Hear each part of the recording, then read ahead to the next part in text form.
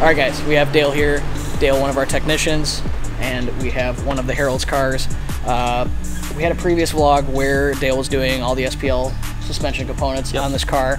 Uh, we haven't really talked about the car since then, but there's a lot of footage over the past few months that we haven't shown yet. So I think we need to take a trip back in the future, Hit it. back in the past, future past. Back in the future. back back to the future. We're going. Okay, bye. Dale is currently working on the Syvecs. Yeah, so what we have here is a Syvecs jumper harness to go from the S7 ECU to the factory 2020 GTR uh, engine harness. This is actually a development kit. But what we're doing right now is we're just kind of eliminating, well what I'm actually doing right now is covering up all of these unused uh, wires just from eliminating some stuff that we're not using or reutilizing it to run other things. So we've got a GPS module that'll get pinned out on this. That's for, um, you know, some traction control strategies, things like that. We have boost control, intake air temp sensors, um, sensors that allow the transmission to shift on its own again, secondary injection since these cars are running uh, dual injectors. So yeah, it's pretty much what I'm doing. Uh, it's just a lot of tedious wiring, getting 12 volt set where 12 volt needs to be. Yep. So Syvecs S7. It's actually really light. This is nice. So it's full aluminum. Yeah, it's got a full aluminum case. I don't know. I would assume that it's somewhat waterproof considering the plugs that it uses. Don't quote me on that. That's Um, possible. Yeah. Who knows? definitely could withstand some water, maybe not dipped in water, but I'm just gonna cover up some of these loose wires with some heat shrink just in case there's still any signal or power getting run through the factory harness. And then uh, we'll get to pinning these out.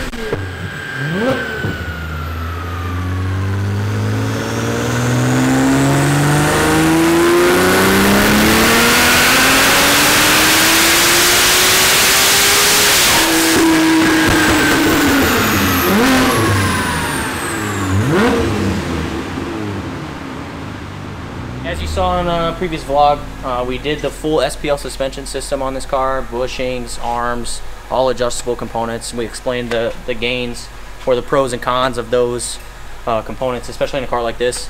But since then, we have finalized the powertrain in the car. Um, obviously, you can see the, the carbon fiber alpha intake manifold and, and all of its components.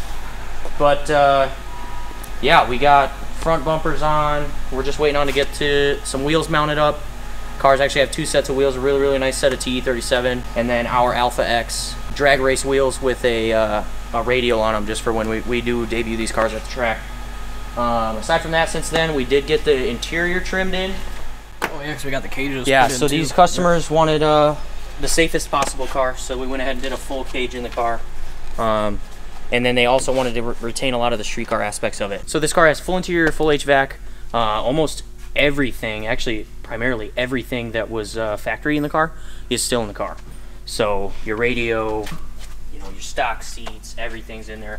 So let, let's remind uh, for those who may have not seen the last video, what's the package that's actually on this car? So this is an 18X kit with the dual brushless fuel systems, um, secondary injection. This is as wild as we would go with a dual purpose car for some. there you go. Um, yeah, aside from that, it's it's looking really good. We have the chute mounts done. I believe, yeah, we do have the uh, we do have a, a removable chute handle. Everything went really smooth. Went ahead and you know did our oil change and, and all the normal stuff. And car made really really good power. I think we're limited by injector right now, which is fine. The the Heralds need to get a little bit of seat time in the cars, I think, before we turn them up and see what they can really do. But uh, This made about 14. it's like mid 1400. 14s, yeah, just under 1500 horsepower uh, on the 18X kit. So we got a little bit of room to grow. Again, Yeah, nothing to sneeze at here. yeah, sure. yeah. I mean, we're still on stock throttle bodies. Super happy with the way these cars are coming out. So I think that's all that's left. I was talking with Alex. Uh, well, the shoe cable's now in, so it just needs a passenger seat to go in. Hi, Peter. Thank you for that. Passenger seat needs to go in. I think under trays. Yeah, we're just waiting to finalize the interior until we're for sure done with tuning. Uh, just gives them a little bit of room to work, especially in the ECU area. True. All of that kind of stuff. It gets a little tight in there, especially with the cage, if both seats and full full interiors in the car. So Yeah, so this has uh, been a project. I mean, this, both of these cars were pretty much. bra- We talked about this in the SPL video that we did. That these cars are pretty much like brand new. We were talking about how nice it was for you to actually work yeah, on these they're things. super nice to work on because they, everything is clean. Combined, they had like 200 miles on yeah, them. So pretty pretty low. Tim's car is going to be on the dyno for break-in and power pulls. We're looking to make the same amount of power. Um, They're pretty pretty soon. I pretty think we much just have, identical uh, builds, right? Yeah, they're they are identical. They are On- identical on, builds. paper. They're identical. Yeah. oh, Cool. Well, uh, good work on this build, man. Thanks, Super man. clean, looks amazing, makes some serious horsepower already. And then also, just to let you guys know, both of these cars, we will be debuting them. We don't know exactly when or where, but you guys will eventually see both of these cars uh, at a strip sometime on this channel. So stay tuned for that. Uh, subscribe if you haven't, and appreciate it, man. All right, so everybody at work decided to do a group buy and go out and get some toys for after work, and uh, everybody bought pit bikes.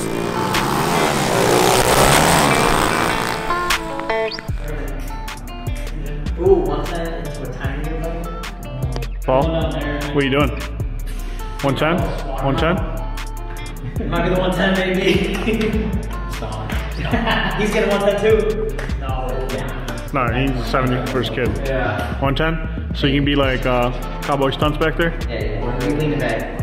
Whiskey throttle right off the front.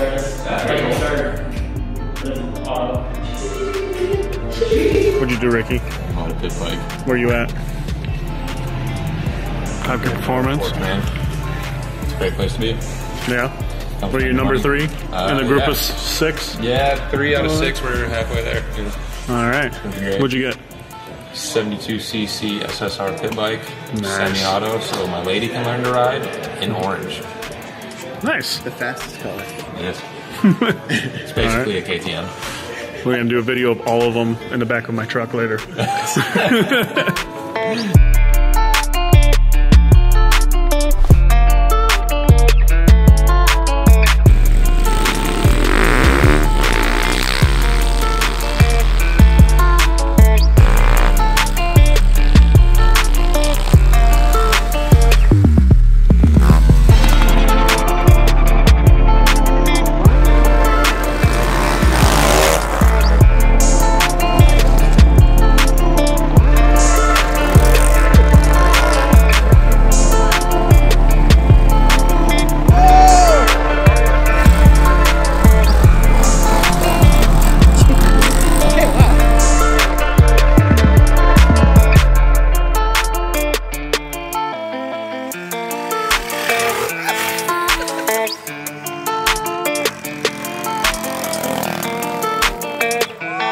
Thank you guys for watching today's vlog. We're going to be joining Alex here next week. He's going to be working on Angela's GTR, a pretty cool build. Uh, so we're going to go over that. But otherwise, hope you guys enjoyed the little pit bike montage.